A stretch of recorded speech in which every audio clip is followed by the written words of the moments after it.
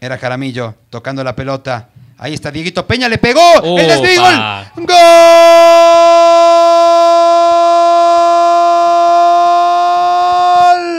De garrotazo le pegó nomás desde muy lejos. Diego Peña se desvía en Tachuela Ayala y se le mete esa pelota a Torres, señor León.